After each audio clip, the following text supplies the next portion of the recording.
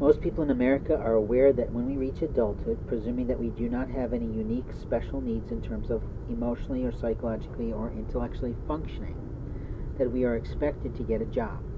Or we can make a business, because that, in truth, is what America has been founded upon. The entire fucking continent was founded on entrepreneurs.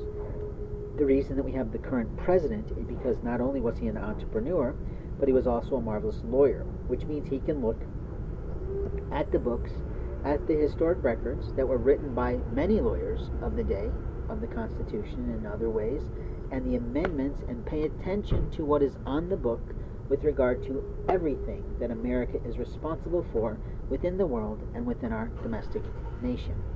When I say this, I'm showing him regard. I'm not displacing him as the fact that he has spent his entire adult career in government. So to me, the natural aspect of him becoming president is quite, well, natural to me, quite obvious, quite typical. And I am one of those Democrats who literally wrote to Marianne and said, listen, you people need to get your shit together. Everybody goes to Hollywood, is not what I said. Everybody goes to Washington, not like Mr. Smith, because every one of you is used to move America forward.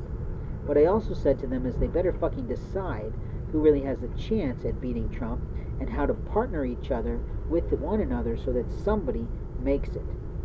And in that, I think they did.